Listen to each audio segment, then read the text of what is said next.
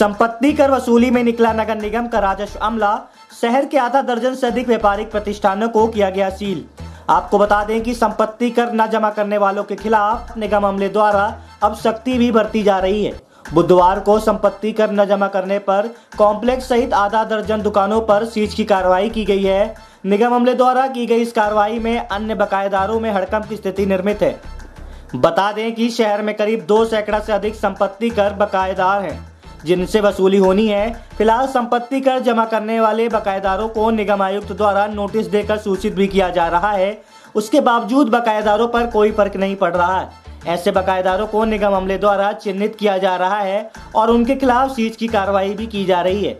आपको बता दें कि नगर निगम आयुक्त के निर्देशन पर राजस्व विभाग के द्वारा इस समय संपत्ति कर वसूली की मुहिम को तेज किया गया है। बताया जा रहा है कि मार्च माह आने से पहले राजस्व वसूली का टारगेट पूरा करने के लिए निर्देश जारी किए गए थे जिसके बाद राजस्व दल शहर में वसूली के दौरान राजस्व न चुकाने की स्थिति में दुकानों को भी सील कर रहा है।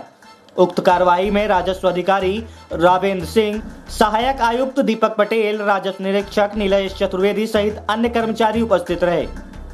प्रस्तुत है राजस्व अधिकारी रावेंद्र सिंह से प्राप्त जानकारी के अंश। आज क्या कार्रवाई की जा रही है? आज इसका संपत्ति कर बकाया था। चौवन हज़ार रुपया इसके तो नोटिस दी गई थी इसको लेकिन इस दौरान नहीं जमा किया गया जा रहा है पैसे ऐसे कितने लोग चिन्हित किए गए हैं जिनके ऊपर कार्रवाई की जाएगी? है? और हर जोन में करीब पचास हज़ार जगह चिन्हित किए गए हैं और कार्रवाई तो चल रही कि आज का है संपत्ति कर बकाया है हमारा। इनको नोटिस दी जा रही कर्मचारी हमारे रोज आ रहे हैं लेकिन इनके द्वारा कोई सुनवाई नहीं की जा रही थी। तो आज हम लोगों ने इसको सीज कर दिया कि भाई सीज की जाए कार्रवाई। तो ये कार्रवाई आगे भी आगे भी अभी चलेगी निरंतर जारी रहेगी। अभी कॉम्प्लेक्स को भी सीज किया गया। कौन सा?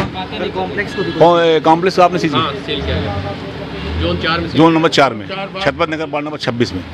शुभ नाम आपका। रावेन्द्र सिंह।